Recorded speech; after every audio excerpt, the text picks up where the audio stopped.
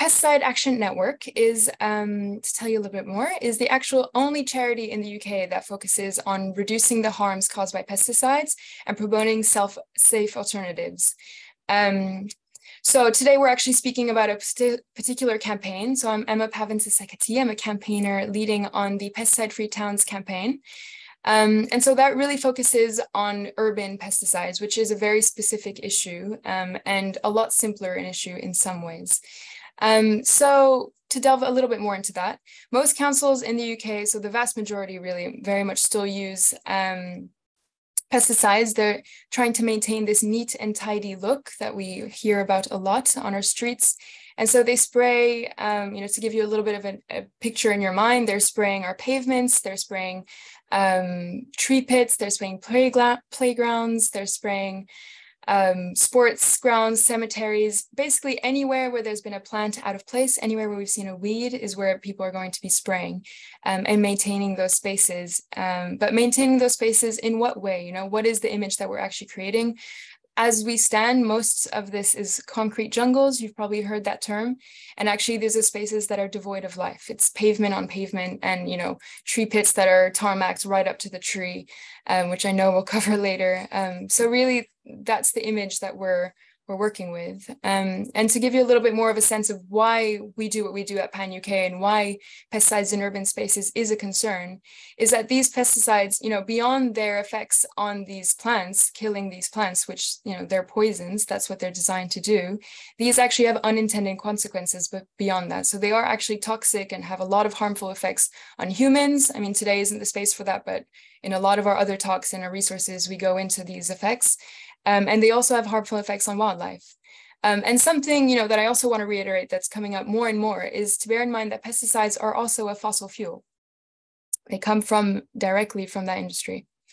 Um, so our campaigning work really is there to work with councils and to work with residents who are concerned about these pesticides and to help them phase out pesticides from these urban areas and actually to create greener weed management, management plans in general. Um, really, the focus is that our cities need to be more resilient spaces in order to face the impacts of climate change, such as, as we know, uh, extreme temperatures. Last summer in London, it got almost to 40 degrees, and flooding events, which this might turn into one here. Um, and, you know, more than that, cities also actually have a really important role to play in supporting biodiversity in the midst of our insect apocalypse, again, a term that you've probably heard now. So really focusing on actually our doorsteps, um, so to really capture why we're here today, um, this all about a new resource that we've put out that was really, you know, called for. We work with councils all across the UK. We work with residents. This is something that we realized is really lacking, is this knowledge of uh, the plants on our pavements, the plants that just grow naturally. Um, so our new guide, Greener Cities, a guide to our pavement plants, is there to respond to that demand. Um, so to quote a little bit, actually, while making our towns and cities pesticide free is a first step in moving in the right direction, we actually also need to appreciate and encourage more plant growth in urban spaces. So I already hear, and I've heard it before, the worries of we don't want to rewild our cities, we don't want this, you know, craziness. We're not actually advocating for overgrown streets. We're not saying it's going to be an actual jungle. We're actually just calling for a nuanced approach where we leave, you know, pavements clear for accessibility, but we also encourage wildlife in the right places. So the question we're really asking today is what do we want our boroughs, our towns, our cities to look like in this future or really in this present? Our cities can, and we, we believe, and this is why we're here today, is we believe that our cities can be well maintained and thriving biodiverse spaces. But it takes attentive designing, planning, and maintenance for our cities to be greener, safer places for people and wildlife to thrive. So on that I think, quite beautiful note. I'm joined by three wonderful speakers. So we're here with Dr. Amanda Tuke, um, Brigit Strawbridge Howard, and Sarah Cooke. Um, so I'll go into their um, their bios a little bit before actually starting a conversation with them and really answering that question. Um, so Dr. Amanda Tuke, who actually contributed to the guide, she was the key voice uh, in terms of expertise in urban botany, which is actually a very hard um, resource to find. It's still a very overlooked area. Uh, so I think today is a really interesting um, opportunity to learn more about that. So Dr. Amanda Tuke is a freelance botanist, nature writer, and birdwatcher.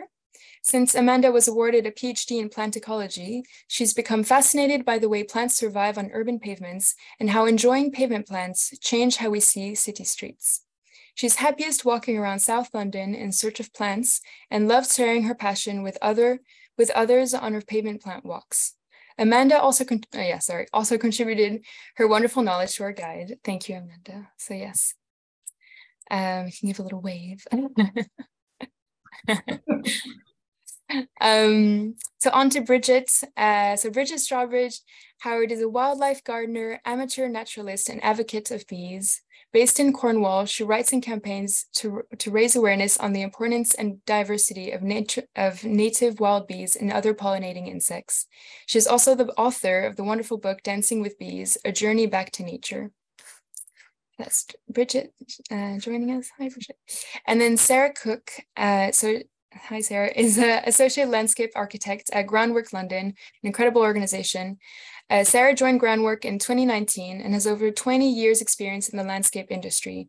She has since led on a range of urban housing master planning initiatives and in a range of highly sensitive and challenging locations, as well as currently leading on highway sustainable drainage systems, or SUDS, uh, you might hear later on, on the Isle of Wight and the Kent coast, uh, and working with, in partnership with planning authorities, water companies, and engineers to deliver these SUDS, as we call them, but always in these urban situations. Uh, her design flair combines a practical construction approach with minimizing long-term maintenance needs. So I think an incredible panel to have here today. I'm really excited. I think we have really fantastic voices to be able to discuss the practicalities actually of what it means to have a greener city. Um, so we're having a discussion format. I'm going to ask questions uh, of our great speakers and we will hear their answers. So first off, um, to all of you, and I we didn't actually decide, but in whatever order we can go, maybe I'll just call out your names. What value do the plants on our pavements hold for you and from your particular perspective? And I think we'll start with Amanda as the resident botanist. Thank you, thank you. Well, obviously I could talk endlessly about pavement plants, as you've heard, but allowing pavement plants to flourish can help keep our cities cooler, remove air pollutants and reduce pressure of the rainwater on our creaking sewage systems for zero cost. So I think that's absolutely critical. Mean, personally, I value the diversity of pavement plants because they're a great reminder of the rich, diverse history of both our cities and our citizens. Pioneering, tenacious, diverse, fascinating. And if you start noticing them, it will really change the way that you see our city streets for good. It'll make such a difference. Mm, thanks, Amanda. Um, on to Brigit. Okay, so so on a personal level, um, these pavement plants for me symbolize resilience um, and life.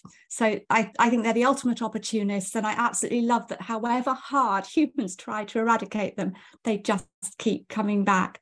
And of course, they have huge value to wildlife, um, especially the numerous species of insects that they attract. And Added to this are then the, the, the, birds, the bats, the amphibians, the reptiles, and, and the hedgehogs who eat the insects and the slugs that are only there because of these plants. Um, and then there's with with many of the even the tiny little plants there's uh, with their prolific seed spreading there's there's birds like sparrows that feed on the abundance of seeds produced by them and and finally i think together um, they're greater than the sum of their parts because in areas where pavements span or the pavement plants span the entire lengths of streets, they provide these invaluable wildlife corridors for creatures to travel safely along and um, to disperse in the same way I always think that hedges do and verges in the countryside. So yeah, there. That's a really beautiful image. I hadn't thought of that before. Um, and Sarah, and you're muted, Sarah, just to unmute yourself. Right. I'm glad I've come third because I can just say ditto to all of that. um, I agree completely with ladies um, that one of that have mm-hmm. come through the pavements and through the the uh, walls and when you're riding on the train and you see all of the plants making their way through you think yes they're very tenacious they're you know nothing can beat them you know however much we try however much we build you know they will survive and they will they will come back. So um, yeah i love to see pavement plants and plants hanging out of walls and buildings. I think it's it's great you know to see nature just triumphing. Um, but yes and i think they're really important obviously as well for all sorts of birds and insects um, and uh, you know and hedgehogs etc that that live in our cities in our gardens. They need slugs to eat they need insects to eat. Um, and yeah green corridors as well. I think it's just connecting everything is really important. Amazing thanks. Um so kind of brings us naturally to actually asking what variety of plants can be found in our towns and cities. Um, so a natural question for Amanda, of course. Um, and this is a bit of a, a, space for us to hear in more depth, actually, of what are the plants that we can see. So we're actually going to share a little bit um, of our screens here, so you can get a real idea of what we're what we're talking about actually when we talk about these plants. Can you all see that? Yes. Perfect. I can. Yeah. Lovely. Okay, so variety of wild plants in our towns and cities. Well, you are never going to run out of new plants to find. I think that's the basic message. But why is that? So if we can have the first slide, Emma, please. Well, there is these are the sources of the kinds of plants you're going to find in urban areas. So obviously there's plants which are the flora of the British Isles and like this autumn hawkbit that we're looking at there. Um, there are also our opportunistic travellers, so things like shaggy soldier on, that you can see there, which is a plant from Mexico. Um, there are our garden escapees, um, like this beautiful hare's tail grass, which is a Mediterranean wild plant. Um, and then there are also plants which, so for, what you're looking at there is a planted wildflower meadow. And I say wildflower because most of the things, well, several of the things in there are not um, native to the British Isles. However, some of those plants will, having been sown originally, will become naturalized and will spread over the verges that they've been planted in. So as I said, you're spoilt for choice and things to look at. You could be finding things from anywhere in the world. And there are also the most enormous range of habitats. And I would argue, perhaps controversially, that in urban areas, you're going to find um, more diverse habitats in close proximity than you are in rural areas. And I'm happy to be challenged on that later. Um, but these are the kind of places that you could be finding plants. We've talked a lot about pavements. There's a tree pit, so that's the area around a street tree. Um, there are the railway sidings and brownfield sites. Um, there are our urban meadows, in, in, this case in the cemetery, um, our urban woodlands, our rocky screes, which in, in this case was as part of a um, car park, um, our urban cliffs, um, yes, I mean bridges and walls, etc., um, and water margins. So all of those places will attract completely different plants and could all be found in a, in a tiny area within walking distance, for example, of my home in South London. So let me share with you some of my favourite pavement plants.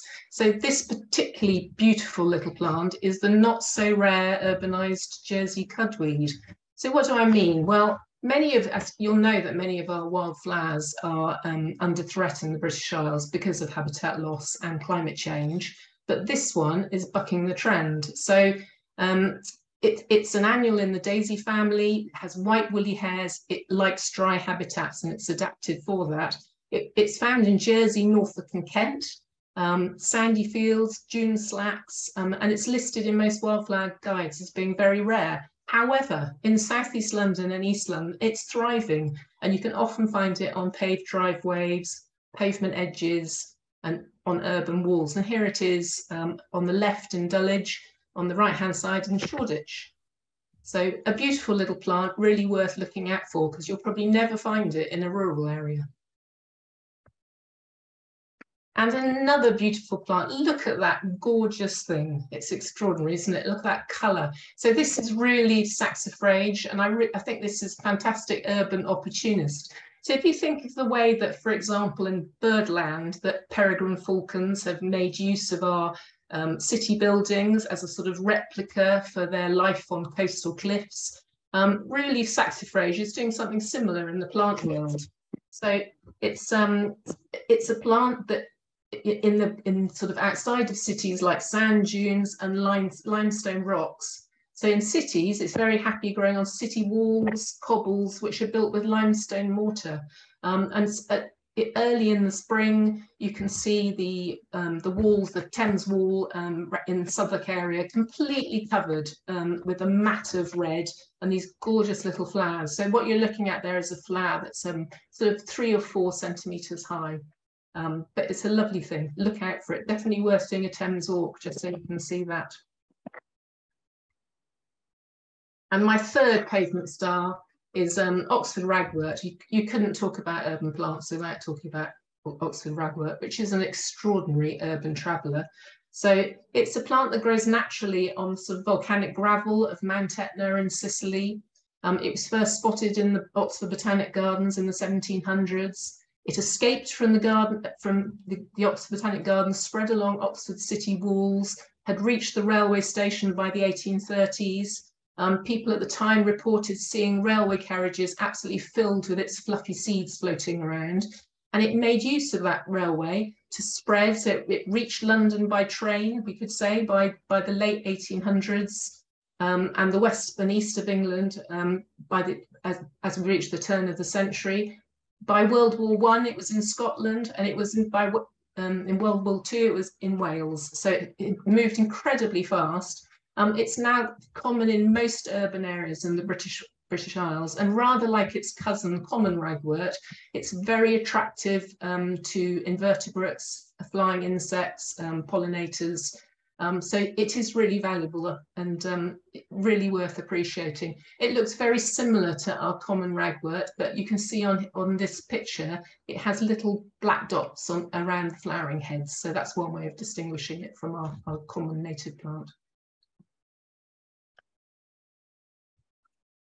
So are there any pavement plants that cause problems? That's something that people often ask me. Um, yes, but not very many, I think is the bottom line. Most of our pavement plants are annual um, pioneering plants, but there are a few that are perennials, um, and these are some examples. Um, so look at that picture at the top. Buddleia has beautiful flowers. I grant you that. Um, if you love butterflies, you possibly have a buddleia or a variety of cultivar of buddleia in your um, garden, um, and I'm sure you love the butterflies it attracts. However, it does the most enormous amount of damage to water um, and pulls down walls, and um, rail companies spend a huge amount of money um, having to clear it from railways. So the next one, bottom left, tree of heaven, or perhaps it should be called tree of hell, um, but it grows incredibly fast. Um, it has very sort of what was seen as being very attractive leaves and so has been planted in lots of gardens, um, but it does spread like mad and here it is growing in Deptford. Um, I'm not even sure these people knew uh, who owned this um, sort of garage area even knew what that plant was and probably it appeared in a couple of years. And then finally, um, oh, somebody's just asked the scientific name, it's Ailanthus altissima. Um, and then on the bottom right hand side, um, black locust tree. Um, so that, that tree, that sapling there appeared during lockdown. Um, so possibly it'd only been there sort of three or four months, grows incredibly fast. And black locust is a tree that's commonly um, planted as a street tree. Um, so it's just something to keep an eye out for. So there aren't many plants that are a problem on pavements. The ones that, the things that they tend to have in common, they tend to be woody perennials like the ones we're looking at here. They tend to come from far-flung places, often introduced by gardeners. Um, and because they come from far-flung places, and in the case of Buddleia and Tree of Heaven, they're both from Southeast Asia, Black Locust is from the Americas, um, they don't tend to have their suite of herbivores and insects with, which would normally suppress their growth in their, in their native countries. Um, so that can be a problem. But as I said, um, there are very few of them that cause those sorts of problems. most pavement plants are small annuals. And then finally, so all of this adds up to incredibly happy urban botanists. So here, here I am out botanizing with a whole range of different people. The top left was a group of us who um, were botanizing on New Year's Day because one of the fabulous things about looking for plants in cities is, is the urban heat island effect, which means that most city areas are five degrees warmer than next um, areas around them. Um, we tend to, in the cities, you can find lots of um, wild plants in flower, even on New Year's Day. Um, so there we were on the on the Thames South Bank um, hunting for plants, um, and which we can pretty much do every day of the year. So I really recommend it. Get out there, go and look for some plants, find out what plants grow in your street, find out what plants grow in the next street, um, and you'll never run out of amazing things to look at from all over the world. And I should probably stop there. Thanks, Amanda. That's incredible. I love hearing the stories of plants from, yeah, sort of eh, that you wouldn't expect in a city, especially the rare plants that sort of end up being there and completely changing this narrative, or the stories of, you know, a plant that actually, a pavement that actually replicates a space that would have been a natural space somewhere else, and starting to think of our cities in that much more, you know, natural way, actually. Like, you know, wall is just a tiny cliff, and, you know, starting to really think yeah think less of nature being out there and think of it as being here as well mm. um, and sort of in that light uh, you know there's this very human approach to what i'm saying actually of you know thinking of these plants for our own beauty and and in a way we heard of how great they are for botanists but now we can hear from brigit of how great they are for wildlife um, you know and we see all these plants uh, yeah sort of uh, growing in spaces where uh, that used to be natural or however we want to call it. Um, but actually insects are here too, and they also need things to, to survive on. So I will again share my screen and we can hear about all these insects that are surviving um, just about in our in our cities as well. Um, there we go. Can you see that? Yeah. Perfect. And I will large screen that. Ironically, I'm always the worst. There we up go. A couple of slides. Oh, up a couple of slides. Oh yeah, sorry. There we go. Thank you. so, um, so of course, it's very commonly known that that bees visit flowering plants for pollen and nectar, um, but other insects and wildlife in general also visit um, for other reasons, including. Next slide including refuge. So we've got here on the left, this is a, a beautiful shield bug um, nymph. And I see a lot of these hiding and coming out um, from, from the rain and uh, early in the morning from, from red campion seed heads. So, um, and then top right is ladybirds and the ladybirds hibernate they sort of hibernate just as the leaves start to furl up. I often find ladybirds sort of getting ready for their winter hibernation. So so that's the refuge and also for warmth. Lots of the insects um, visit um, especially earlier in the season plants radiate warmth and and sort of bumblebees when they first come out of hibernation you often find them sort of just taking refuge a little bit of extra warmth in plants. And then bottom right photograph i've got here um, is is also um, insects and other creatures like spiders visit flowers to, uh, to, to basically to catch their prey. So this is a crab spider ambushing some poor um, fly species there. So yeah, so so not just pollen and nectar. Of course, pollen and nectar is hugely valuable. So next one, please, um, Emma. Now, the other thing that that many of our urban butterflies and moths rely on these plants 100% for is for the whole of their their their, their life cycle. So this here is the mullein moth, and you can't see there's there's nothing left of um, of what it's been munching on the right. But as well as as using mullein, they also use figwort. And figwort is a plant that's often you'd, you'd find it growing along waterways, along the sides of canals.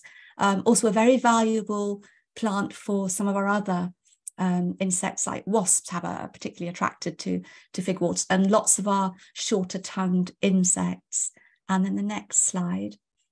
Um, so we've already mentioned this is not Oxford ragwort, this is just common ragwort, but ragwort, and I I, I photographed this um, in a car park in Liskeard last weekend.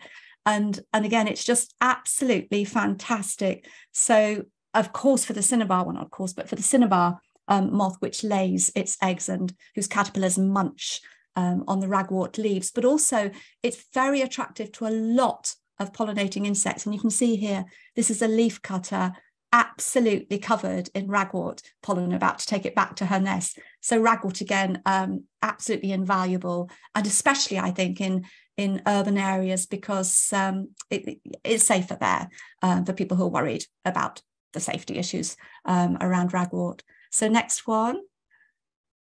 Uh, the so uh, so I've got a photograph. This is this is Rose Bay willow herb on the left, but all of the willow herbs, and some of them are absolutely minuscule, um, are, are just magnets for not just bumblebees as we've got on the left, but lots of our solitary bees and um, hoverflies and smaller insects. And they're also the food source for elephant hawk moth caterpillars. So, so, and I, have actually seen the caterpillars on the willow herbs, which is uh, a sight to behold. I haven't got any photographs, sadly.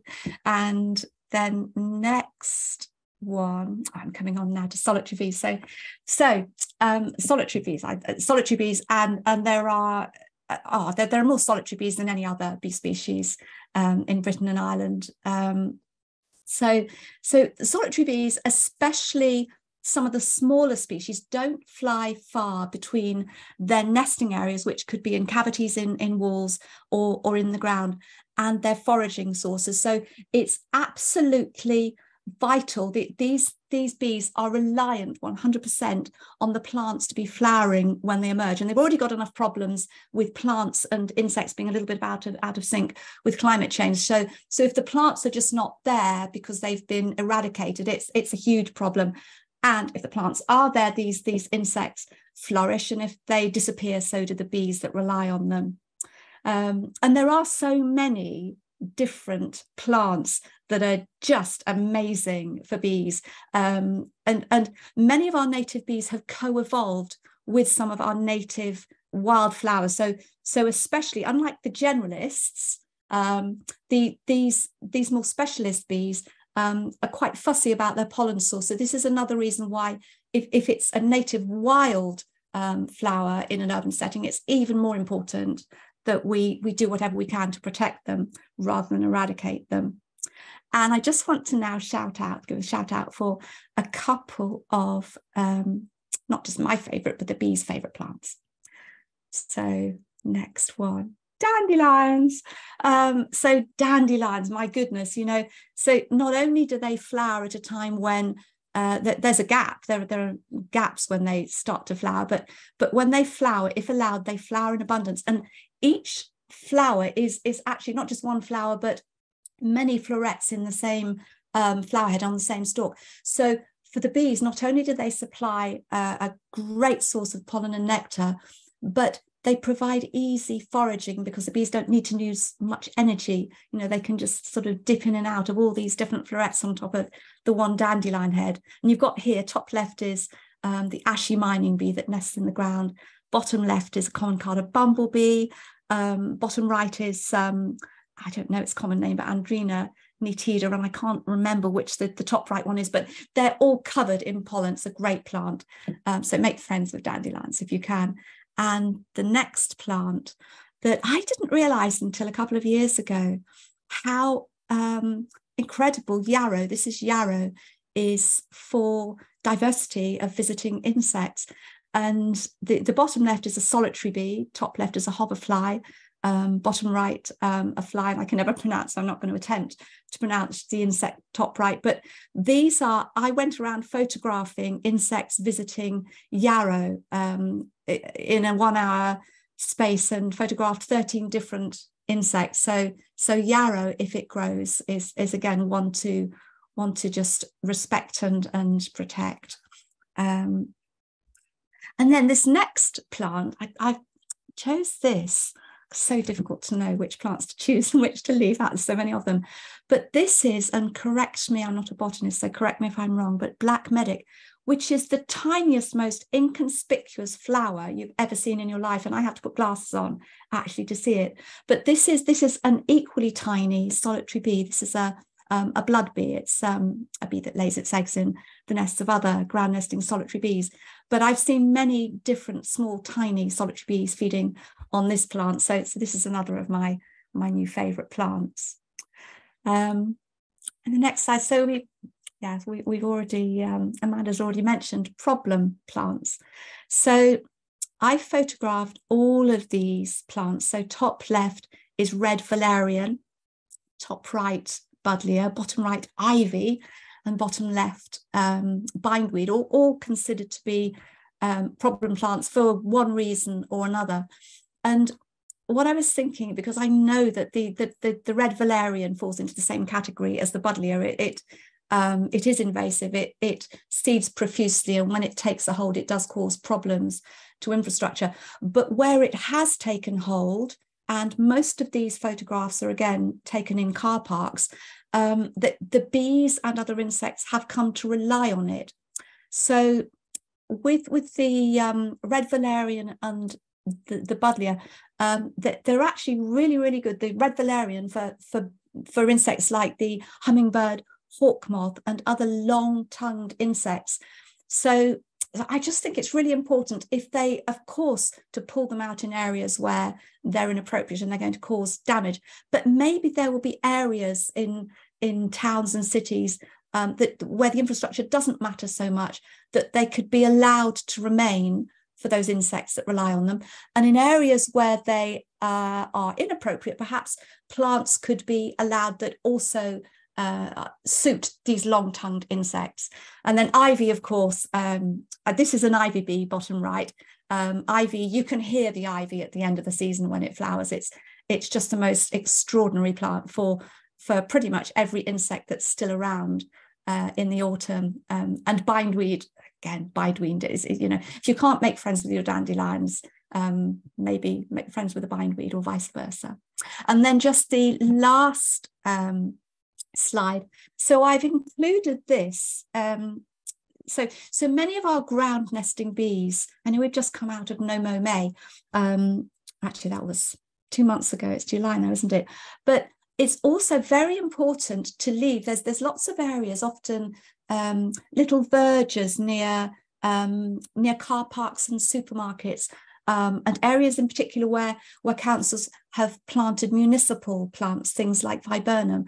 And, and if you see little mounds like this, tiny, tiny little mounds like this, this is evidence of there being not a colony because solitary bees are not um, not social, but an aggregation of ground nesting bees. These are lots of single ground nesting bees that nest, and they don't fly very far, you know, between um, their nesting area and the plants they forage on. So these areas as well, these, these sparsely vegetated, closely mown areas um, are really important to, to, to, again, to, to, to protect. Um, so I think that's, um, I think that's me. I'm going to, um, yeah, that's me. I'm going to end there. Um, so difficult to know what to leave out it. Thank you.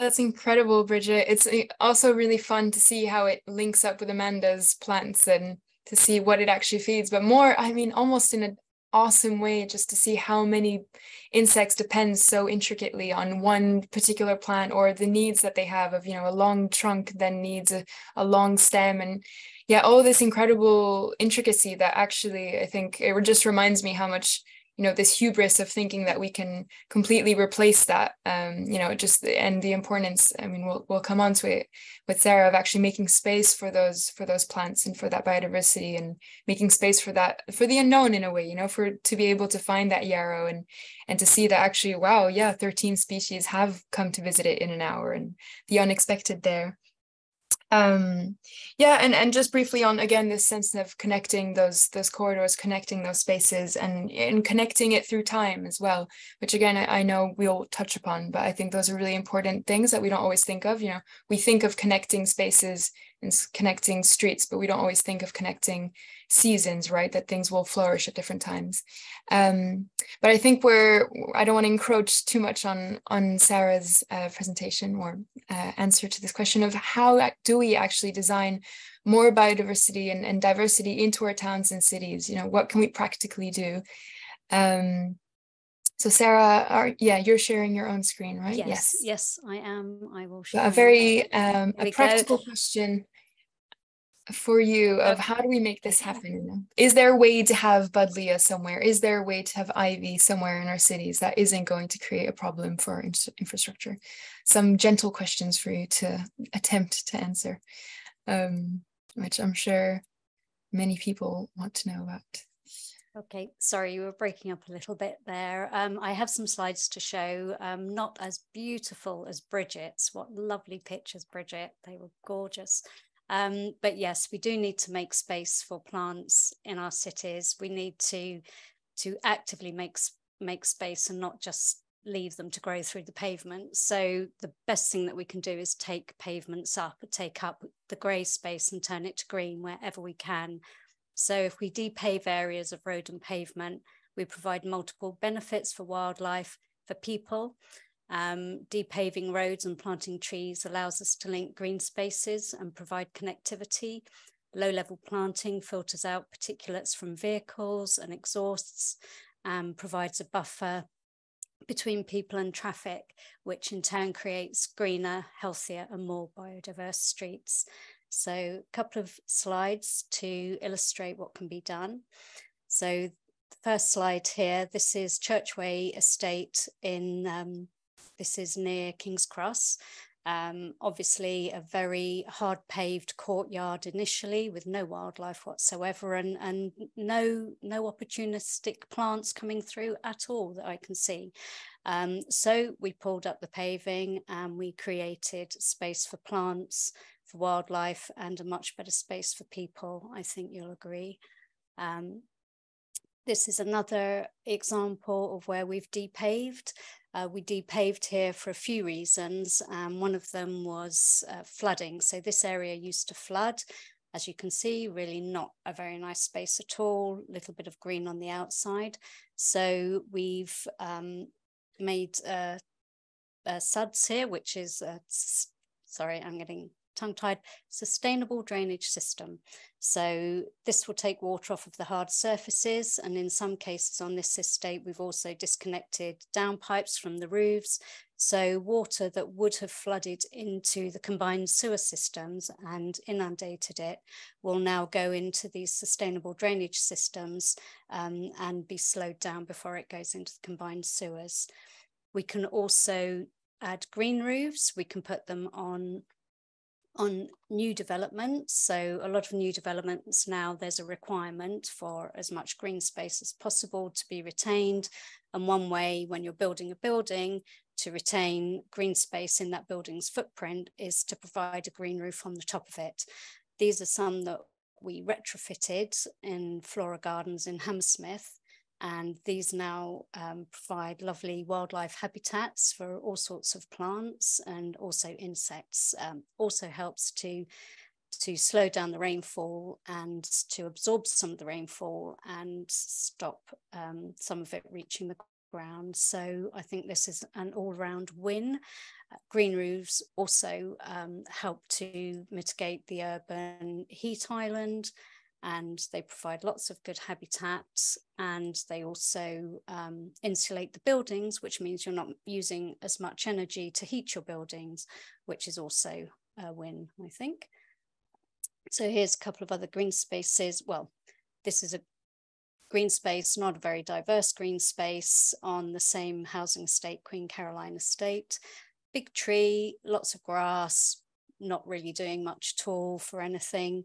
So, and also subject to flooding. So this is a before picture after we've increased biodiversity and flood attenuation. These are swales. This little channel will take rainwater off of uh, adjacent hard surfaces and bring it into the swale. So we've got lots of lots of nice planting, um, and we've got a better environment for children to play. We've got higher biodiversity, and we've got flood attenuation and space for wildlife. The other thing we can do is plant trees. Um, so choosing the right tree species is important, but also increasing the diversity of trees that we plant in our streets is important. Um, obviously, some trees are better for others than others for supporting wildlife, and the oak has roughly 2,300 species associated with it, uh, whereas ginkgo has about four. So there's, you know, choosing the right plant is important, choosing the right tree, um, making sure you've got berries for birds and flowers for early pollinators is important, but also planting the trees in the right situation. So making sure the tree pit isn't, as, uh, as the other ladies mentioned, just in tarmac that sort of rises up around it as the roots start to spread. Um, properly designed tree pits are really important. Tree pits with structural soils, tree pits with aeration pipes, tree pits that link one tree to another tree within the street in with a containment system. It helps the trees to thrive, it helps them to connect to each other, and it supports the tree's health, not only above ground, but underground. So you have your mycorrhizal connection between the trees, which helps the trees support each other in times of stress. So you're helping the trees stay healthy and you're uh, minimizing maintenance because if the trees are planted properly in the right situation, in the right conditions, then they will thrive and you will not have to keep replacing them or chopping them down and taking off dead branches. Um, so that's, I think, important. Um, we also talked about rain gardens in streets. So if we can start to put rain gardens into streets, we can not only attenuate for flooding, we can create biodiversity and much healthier streets for people to exist in as well. So when the uh, when we get a lot of rainfall, the combined sewer system gets overloaded, and that's when you get your sewer um, discharge into the rivers and the oceans. So in putting rain gardens in towns, mitigating for those flood events, we're also protecting um, river and ocean wildlife as well. So it's, you know, it's a no brainer. I think it's something that really needs to be rolled out as much as possible. Um, so this is Newport High Street. This is what it does look like. This is what it will look like. So fairly shortly. Um, these are some other examples of depaving. This is Enfield and this is Sheffield Grey to Green. Um, so lots of rain gardens. This looks a lot prettier. I think this was taken on a, a sunnier summer's day. So we have lots of biodiversity, lots of different flowering plants. The Enfield scheme was also really interesting. They had um, taken one previously buried river uh, in Enfield and they'd opened it up. And in one of the parks, so these um, these rain gardens connect two parks. Basically, it's a greenway, and they've taken the river out of its its conduit. They've opened it up and created wetlands. And then at the end of the park, they've put rain gardens in the roads, and these rain gardens go all through Enfield and connect up with other green spaces. Uh, as you can see, they're quite wild looking, they're not beautifully manicured, but there's lots of space for insects, bugs, you know, it's, uh, it's really nice. It was a really nice road to walk along and you're creating a buffer between people and the streets, which I think is also really healthy. Um, these and other things that we can do to green our urban spaces. Stop paving over your front garden is one of them. Just, Just a few more seconds, Sarah, by the way. Okay. All right. Sorry. So we can green walls, we can green um, our pavements, our front gardens, we can add bug refuges, and we can use um, rainwater planters that slow down the flow of rainwater. You can do something simple or you can do something nice and funky. It's different. So there we go. That's me. Thank you. I could just ask you to stop sharing your screen. Yeah. Yes, thank you. That's amazing. It's incredible to see all the different, uh, actually all the different things that we can do. And I think it's really showing, I like actually your end note of saying you can make it funky or you can make it simple, because I think it is all about just really getting creative and actually seeing this as an opportunity of all the things that you can do. And I think, you know, it's coming up a lot of you know where do we do this? How is this a problem here? Is this a problem there? I think a really key element is to start thinking more of our cities as you know there's a lot of dead space actually. There's a lot of spaces that we can do more with. So a lot of you know these green deserts this lawn where nothing's happening actually can be a whole new space. So having that imagination um, and working with people who know um, how to have that imagination of depaving some areas and rewild, well, rewilding specific areas um, so I'm conscious of time, so I'm actually gonna ask Amanda this next question. Um, of you know, we're talking about all these different plants, and but I'm curious about you know, are there any myths or misunderstandings around these plants in our urban spaces? Is there anything that we can dispel quickly so that we can move forward? Um, um, absolutely, yes. I think I think it's not as simple as being that there are good and bad plants. Um, I mean, we've heard today from Brigit on the subject of why dandelions and ivy are absolutely essential for insects. Um, and we've heard from Sarah about how some trees are much better for insects and invertebrates than others are. So um, not all plants are equal. The answer is not to cover huge swathes with some wildflower mix. That's not the answer. The answer is to have lots of different sorts of habitats in a small area, a mosaic, a very fine-grained approach, and that will be the thing that increases biodiversity the most of both plants and of invertebrates. Mm, amazing. And I think a last one for everyone. I'm just conscious I want everyone to have time to ask questions, and I've seen there's some really good ones in the chat. Um, so what you know i think you all have this incredible expertise and you're all coming at it from a different perspective in a way so what do you recommend briefly um, that councils and residents can do to support this urban wildlife um, you know may that be plant and or uh, insect um, and people actually um, you know what are some concrete actions that we can do uh, as as an audience as a councillor um, after seeing this. I'll give it to sarah first maybe. Um, well there's a number of things. I think as individuals we can stop using pesticides and herbicides. We can stop paving over our front gardens. We can you know maybe make space for that that little extra flower that's coming through the pavement and not take it up. Um, i think if you want um, to to really green a, a large sort of space within your community. You can write to your mps or you can come to groundwork and see if we've got any funds available because there are an awful lot of grants out there for people to um, for communities to to um, apply for for greening their spaces. So it's well worth looking at a lot of websites that i think you're going to post some at the end here mm-hmm. so get involved i think get involved and get out there plant some plants and um, yeah talk to your mps and amanda and brigit so definitely stop using herbicide. I totally agree with that. Um, and maybe incentivize your residents to take over the management of streets as London Borough of Lambeth has. It's working really well and it means that the, your residents are very engaged. And please, please stop tarmacking over tree pits. They, it upsets me so much. Um, it's so unnecessary um, and it's just taking away such a valuable resource. Now, from a personal perspective, we can all notice urban plants, find out what they are, take photos, um, share them. Um, we care so much less about things we don't know the names of. So mm. find out what your local urban plants are. Tell your families, tell your friends, tell anybody who'll listen.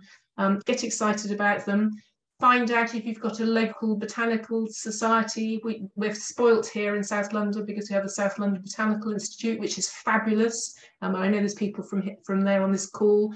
Um, and if you're not, if you don't have a local um, society, then join the Botanical Society of Britain and Ireland, which is also fabulous and has loads of free resources um, to complement this fabulous new pavement plant guide that is being launched today. and I would say, you know, send those photos to your council. You know, if you post them on Twitter and at your councilors, and uh, you know, think of social media as a, you know as a really as a space to to share those and those pictures and to celebrate them, but in a in a campaigner perspective.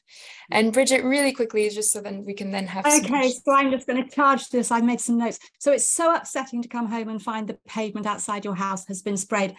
And that could be avoided if people communicated, if councils communicated um, with residents, engaged and listened, so and advised ahead of any spraying date so that people have an opportunity to say, no, I don't want that, thank you, or to remove the, the, the plants um, if, if they they have to be removed.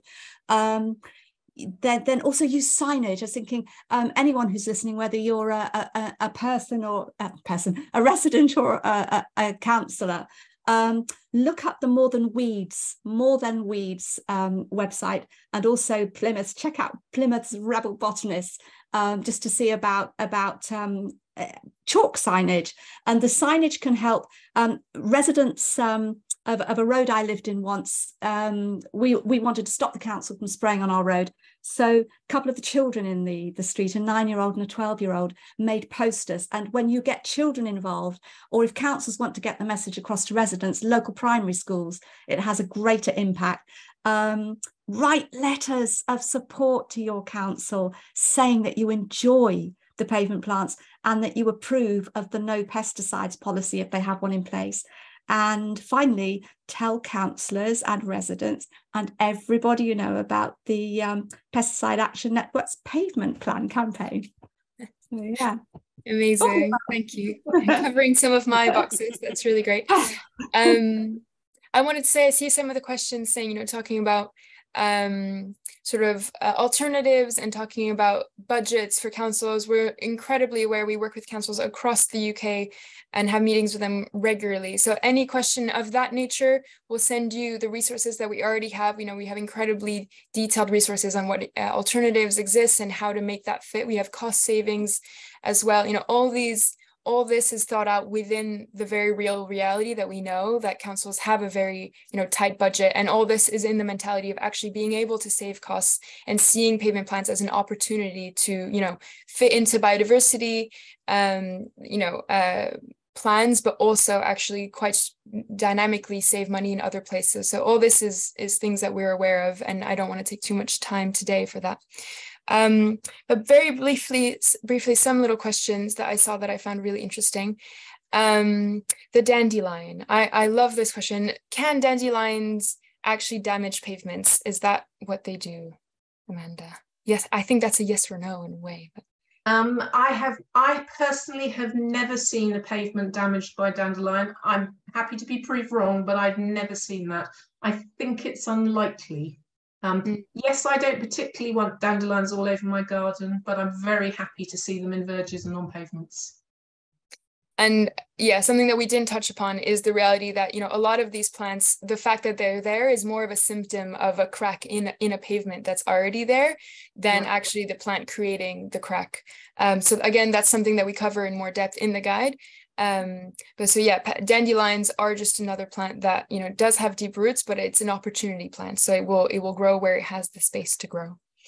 Um, so someone asking maybe for Sarah about plants that grow in gutters. Um, you know, is that you know near drains? Is that a problem? How do we remove those? Or maybe not how do um, we remove them, but well, I, I, guess actually, yes, if they're growing in a gutter, yeah. they are a problem because they're blocking your gutters up and they're stopping the, the movement of water, which will eventually um, end up in your house. So, yes, you probably should get up a ladder or get somebody who's able to get up a ladder and get rid of the plants in the um, in the gutters. But um, yeah, by all means, leave them in your uh, in your driveway. Mm. Yeah. So again, if you had a green roof, you wouldn't need a gutter, maybe. So that's the other Exactly. Yeah. yeah. Thinking yes. more strategic. You put plants there in the first place where they're mm-hmm. supposed to be in in the situation that they're supposed to be, then that's fine. Um. Yeah, I think what could be yeah. So what could be a strong argument to convince a council that leaving wild areas in parks is only the, is not is only part of the answer, and that pavements are important too, so they don't just clean them up. I mean kind of this event. But I'd say the totally different plant species that you get in the the long grass um, sort of wild meadows to the plants that you get in in pavement cracks.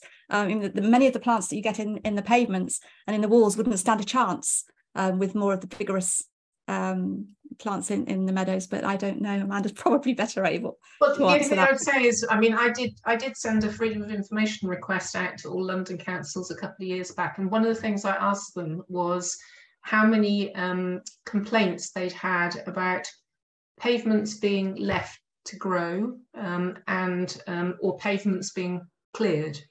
Um, and of course, what they told us was, well, what they told me was that they have loads of, well, they, the complaints they do have about are about the plants growing on pavements, but all the people who are happy with the plants are not telling the councils that they're happy and they don't want them cleared. So back to Brigit's point about write loads of letters. Yes, tell tell them that you're happy. If they leave the pavement to grow for a bit, tell them you really like it because they won't know. And I, having worked in local authorities, I know that you you're picking up what comes into you. So if you, if you don't, if people don't tell you they like things, you just don't know that. Yeah, I think that's a, a great place to wrap up questions a little bit, just because I'm seeing questions that I can answer as a, as a closing up.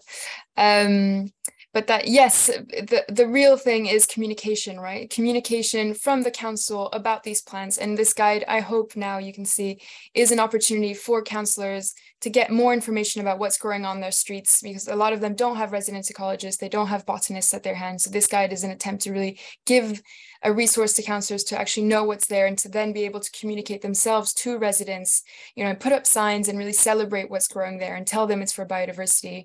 And in turn for residents as well to write to your council, tell them, you know, this is something that we want to see, tell them we want depaved areas, we want, you know, green roofs, all these initiatives. Um, and we're here to advise them on how to do that in a cost effective way. And, you know, we're a charity for free. Um, but yeah, I'm going to wrap up and, and sort of tell people where you can find the guide now.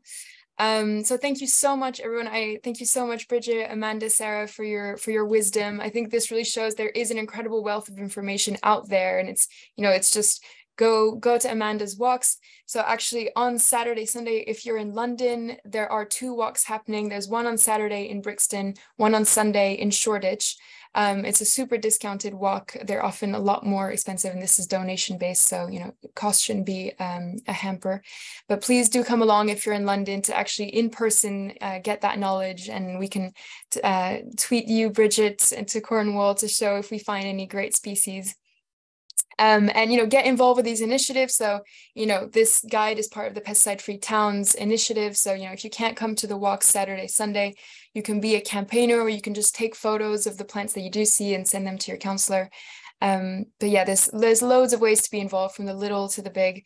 So hopefully we we've inspired you to care about your your neighbors may those be plants or insects or people and to really start thinking about how how do you want to see your cities and how how are we going to start facing climate change at our doorstep?